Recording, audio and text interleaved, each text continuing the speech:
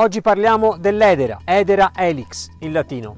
L'edera è una pianta infestante, come vedete in questa quercia dietro di me la sta praticamente soffocando, ma è anche una pianta ornamentale, infatti viene coltivata da sempre e ha molti molti significati e utilizzi.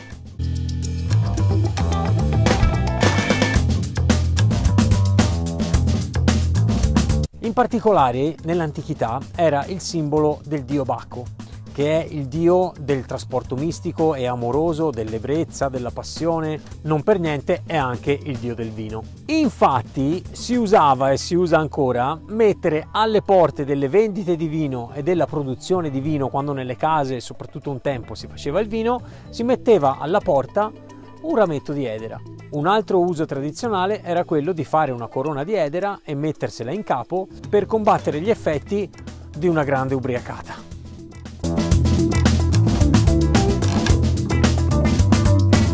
Quindi adesso in onore del dio Bacco continuiamo a registrare con una bella corona di edera in capo. Purtroppo vedete dalla quercia dietro di me che per l'abbandono dei boschi l'edera sta un po' regnando sovrana. In un bosco abbandonato l'edera ha la meglio su piante anche enormi come quella che vedete dietro di me. Ma come dico sempre io, le erbacce non esistono e quindi l'edera ha anche proprietà medicinali e proprietà ornamentali. Attenzione con le proprietà medicinali perché in genere l'edera è velenosa, quindi va usata con molta molta cautela. Una scoperta molto recente, dimostrata dalla NASA, l'agenzia spaziale americana, è il fatto che l'edera ha la capacità di purificare l'aria. E infine un piccolo proverbio sull'edera. Come l'edera al muro si attacca, il mio cuore da te non si stacca.